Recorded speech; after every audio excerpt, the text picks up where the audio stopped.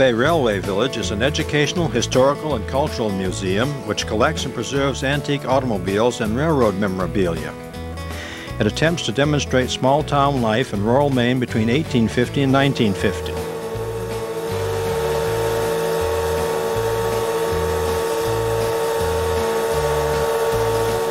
The passenger train leaves at the Freeport station every half hour and makes a double loop around the museum grounds.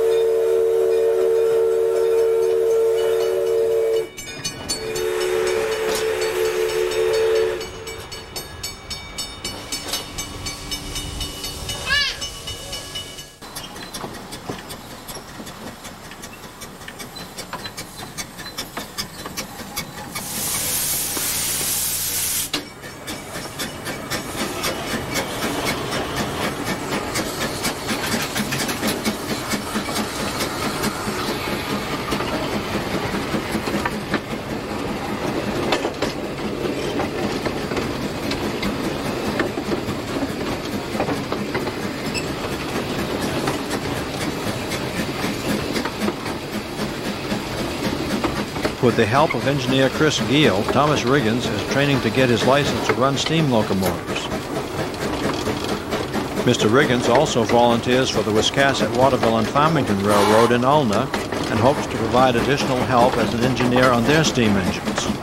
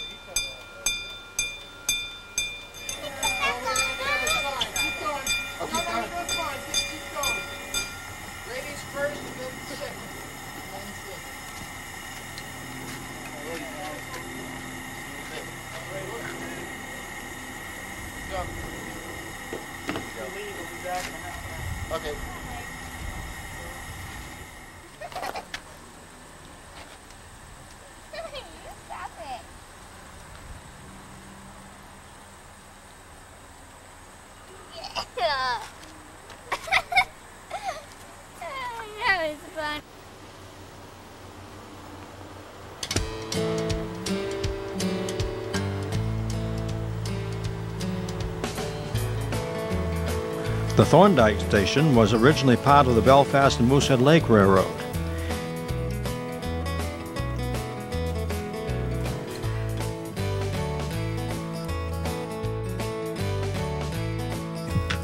It was brought here in the early 1960s. The border around the ceiling is a collection of railroad signs from many towns in Maine. The station agent's office accurately shows what would have happened here.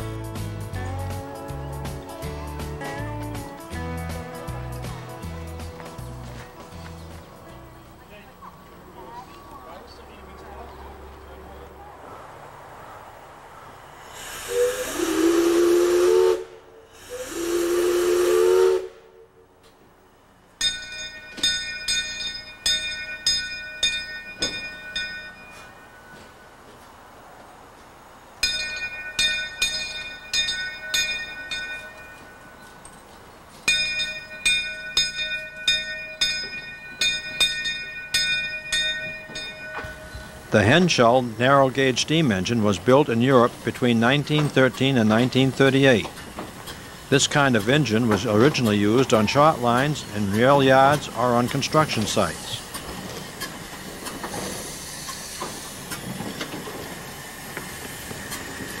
The engine configuration is 040, which means there are no pilot wheels and no trailing wheels, only four driving wheels.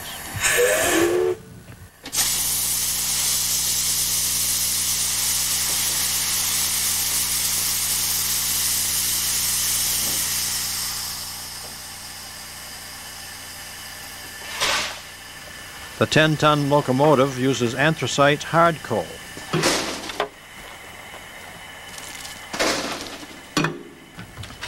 The water is stored between the wheels under the frame of the boiler.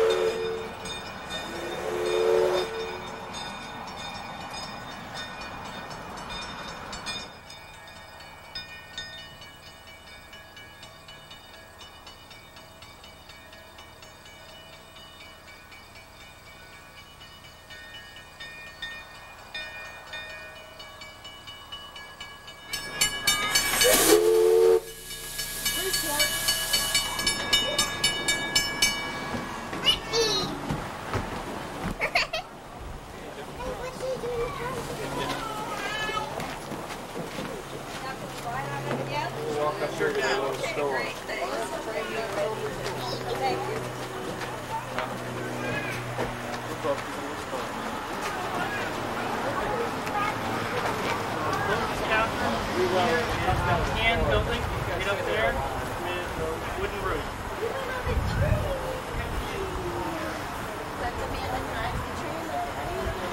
And then again in a half hour from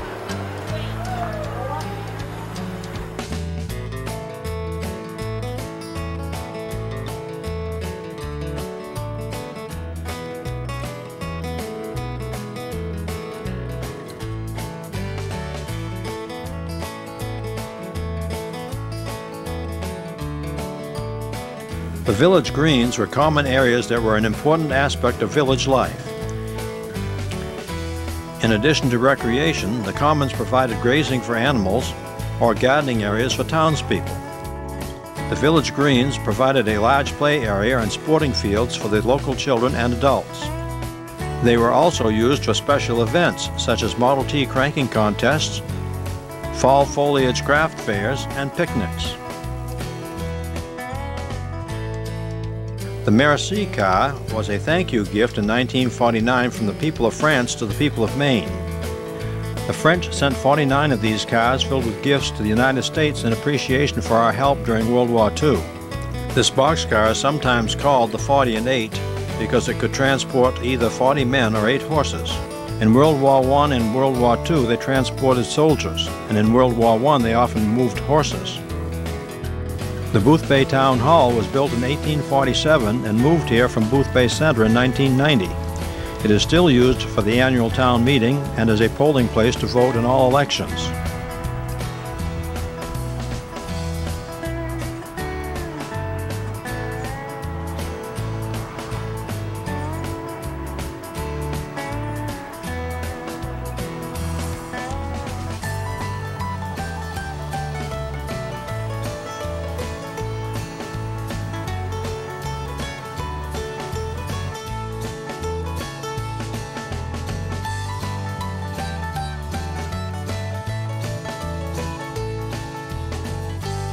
The Dingley store is named for Bob Dingley, who helped in the founding of the Boothbay Railroad Museum and donated many of its artifacts. The Spruce Point Chapel was built in the 1920s and was relocated here in 1995. Today it is used for special occasions as well as church services. The Boothbay Volunteer Fire Department building houses several antique fire trucks. The building includes a tower that was used to hang canvas fire hoses where they could dry out after they were used for fighting fires.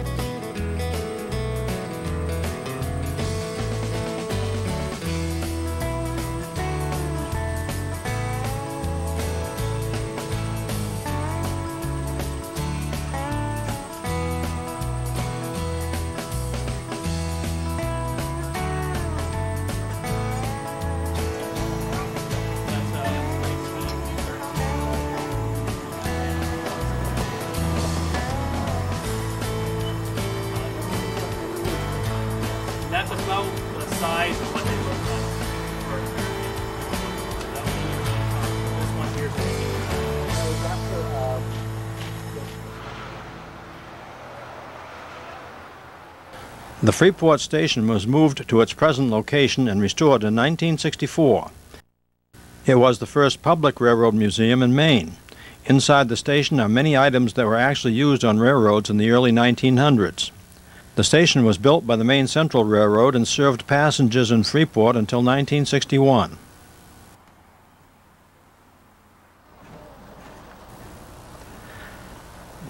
Tompkins Filling Station was moved here from East Boothbay. It really had been a local service station.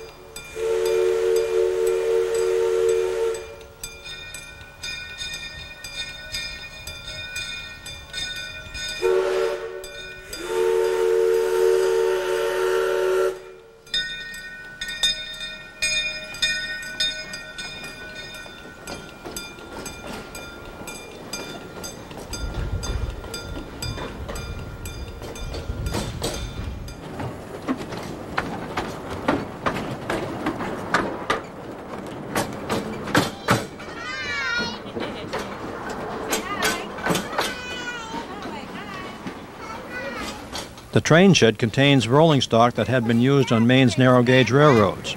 This static display includes an 1895 Baldwin locomotive, Wiscasset and Quebec boxcar, and two Sandy River and Rangeley Lakes boxcars.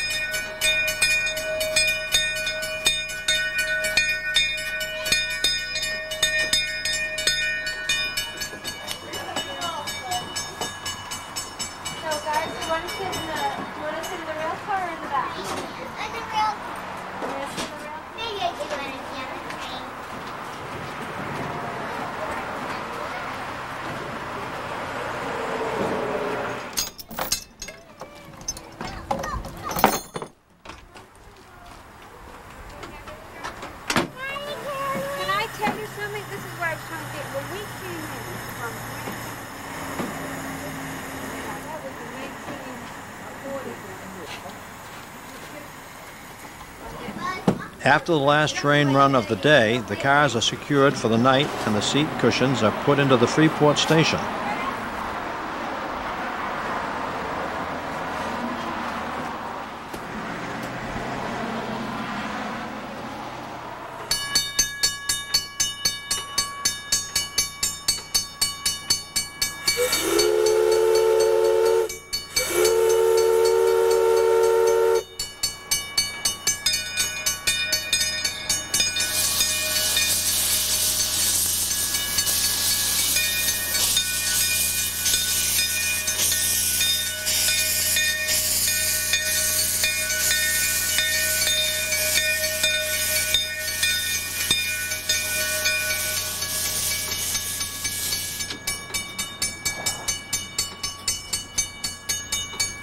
Locomotive is taken to the engine house.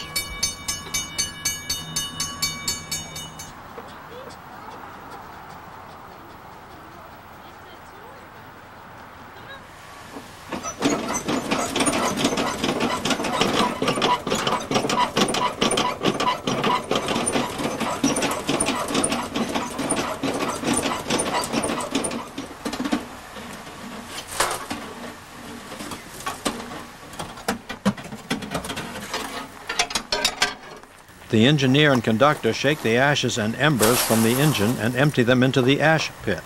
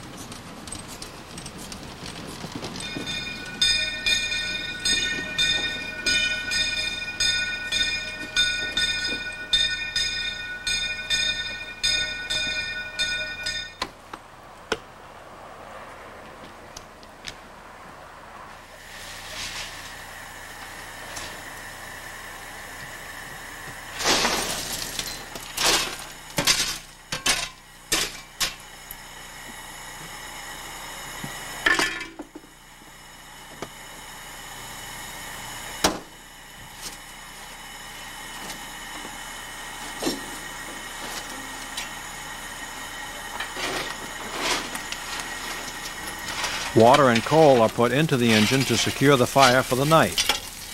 Then the engine is moved to the engine house.